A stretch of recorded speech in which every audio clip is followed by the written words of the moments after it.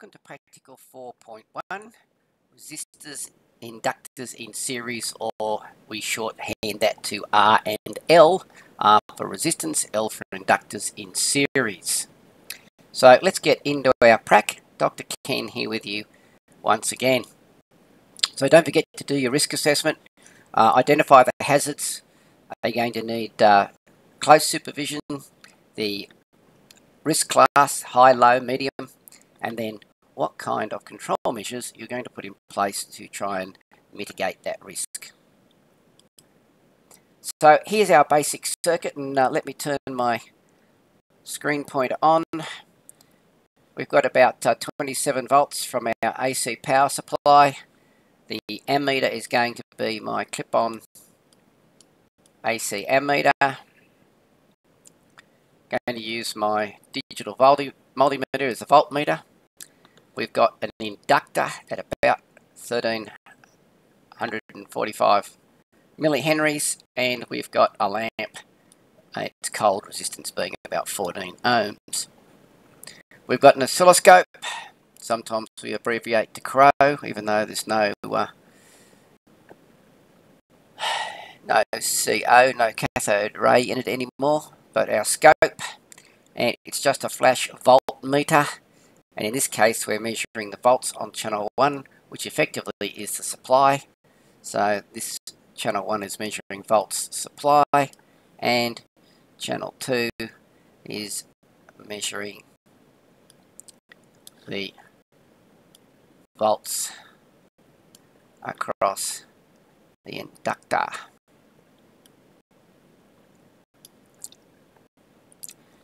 So let's have a look at how this all works. So this is how it's all connected up. So the actual circuit uh, setup. We can see our 24 volt supply here and we've simply got a red wire that loops up through our clip-on ammeter and then back down to our inductor. You can see a blue wire here just loops in behind the uh, clip-on ammeter and comes out here connecting to our lamp. There's our lamp. We should call that R1 and inductor over here, L1. Coming out of the inductor and if you follow the white wire it just loops straight back to the supply.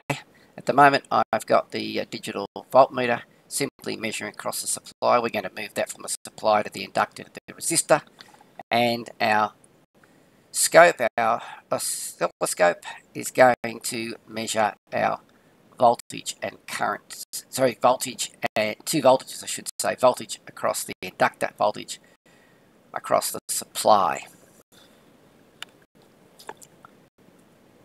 So, just a reminder, if uh, you need to use the scope to measure the phase angle, you need to determine the time base for the scope. Is it measuring in 2 milli seconds per division or 5 or 10, whatever it happens to be. Uh, measure the difference on the horizontal between both waves in divisions. Um, the, this is best done at the zero crossing points. And then multiply the divisions difference by the time base. This gives you the time difference. Then measure the period of uh, the, one of the waves, normally the voltage wave. Again at the zero crossing points, this gives you the period and again uh, take the number of um, divisions, multiply it by the time base. Now divide the difference by the period, in other words the difference in time divided by the period which is a time giving us a proportion of the total period. So finally we multiply all of that by 360 and this gives us the number of degrees difference represented by the time difference. So the whole formula, so the angle difference is simply the time difference divided by the period multiplied by 360 degrees. So here's our readings. I'll just click my pen into uh, into pen mode and uh, you can see we're pulling about 11 milliamps, nearly 12 on the display. I've got this wire looped around three times, so we're going to take about a third of it. So our current's at about 4 milliamps. Our voltage supply, 27.4, simply comes straight from here up on the digital multimeter, which is across the supply, so that's where that uh, reading comes from. Then we needed to know the voltage across the inductor itself. So I've simply moved the leads of the multimeter across here onto the inductor and we've got 27.1 so that's where this value comes from 27.1 and then finally voltage across the resistor itself at about 2.23 and that's where that comes from.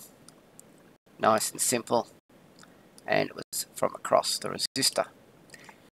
The 72 degrees um, all I did was go across here and I had two divisions my period from here to here was 10 divisions so 2 divisions divided by 10 and I simply multiplied that by 360 so I worked out that I had 72 degrees between the two voltages. So that's where that 72 degree angle has come from in our table there. So we're going to use a phasor diagram now to represent that. And here's the start of our phasor diagram.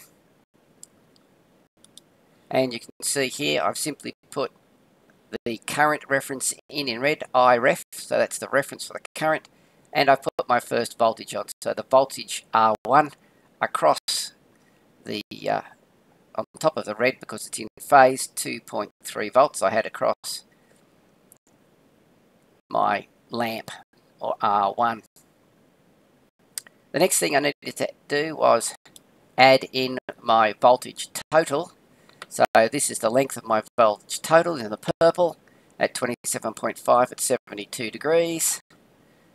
So if I just turn my screen arrow on, that's that angle in there. So that's our 72 degrees. Remember, of course, if you're doing this practice, you may get slightly different numbers. This is the basic principle of what's going on. And then the final step was to do this, and we've simply taken top to tailed and connected our voltage inductor back to here and that should have come out very, very close to our 70, 27.2, which it does, and the angle's a little bit different. So in this particular case, we've actually done a phasor subtraction by putting in all the phases we can possibly can with the angles that we know, and we've uh, then gone back to the beginning. So this is my 85 degrees in here. So I've put the resistance phasor into place, then I put the voltage phasor, and then the difference between the two, which was this one down here, has to be my volts total. So effectively, I've done a phasor subtraction rather than a phasor addition this time. So I've done that by simply putting in the volts total and the volts resistive and then whatever the difference between the two of them, that's the subtraction, had to be the volts across the inductor and I got pretty well exactly uh, 27.2 and then I was able to use a protractor and measure off my angle which in this case was about 85 degrees. So what can we draw from this? Um, once again, circuit has reactance. You can't just add or subtract algebraically. Why? Because AC currents and voltages are complex quantities. They have direction and magnitude, and these can only be added or subtracted using phasor diagrams or complex numbers.